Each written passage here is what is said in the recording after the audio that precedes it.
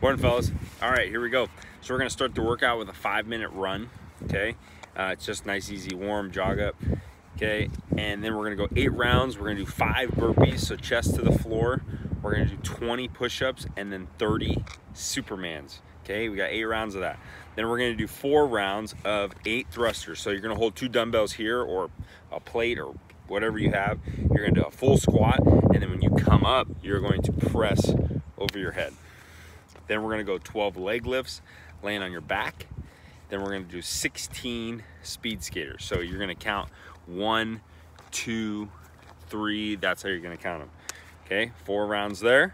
Then you're going to end, okay, with five 25 yard sprints with a back pedal. So you're gonna sprint 25 yards. As soon as you hit 25 yards, you're gonna go right into a back pedal. Working on your arms, working on your dropping your hips, and being explosive.